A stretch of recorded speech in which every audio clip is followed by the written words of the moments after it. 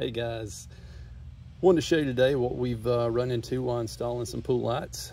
Uh, if you've come to this video, you're probably either installing these lights or you're doing like we did and tried to build your own swim pool. Uh, these are SR Smith TREO lights. Uh, we picked 80 foot cord on these because it's going to fit everything that we're trying to uh, install.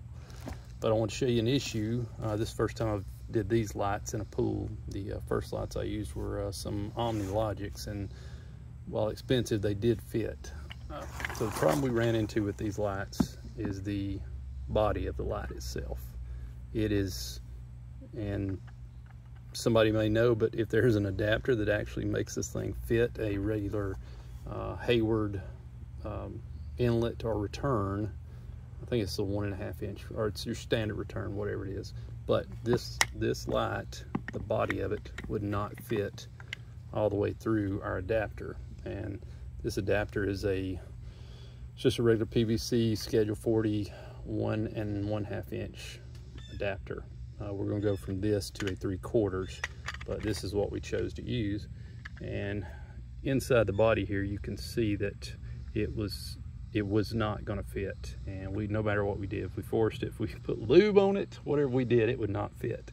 So we had to take a dremel tool and remove material from the actual body of the uh, return or not the return I'm sorry the PVC adapter. Uh, everything up front here fits like it should. This is threaded and the SR Smith light is also threaded. So this part fits perfectly like it should. But when you screwed it in get it put together for you. Before we dremeled this out, it was not going to fit. So do know that if you pick these lights, that is a problem or an issue you're going to run into. Uh, we've looked on SR Smith's website and all over the internet and didn't see anything that there's any other type adapter. And we've tried Lowe's and Home Depot. We've even tried the the gray PVC um, conduit and nothing would fit these lights unless you dremel it out. And the next issue you're gonna run into, like I said, we're going from a this one and a half inch to a three quarters and we're gonna run conduit all the way back to our power source. But the light and where the cord comes in is offset.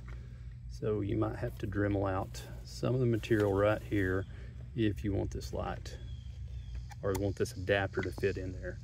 And even with that material removed, you can only get the adapter seated about halfway, which should be good because there's no pressure that will be coming through these lines. It's just gonna be water setting in there. So it should seal off and be good. But again, do know that this is an issue you're gonna run into um, using the SR Smith lights, the TREOs. The body is just too thick to go through your standard adapter. And again, there's a, what we used for our inlet or return part to screw them in, but hope this helps somebody else. Uh, we have spent several hours trying to figure it out, and I think we've got it um, handled and about to install the lights. Thanks for watching.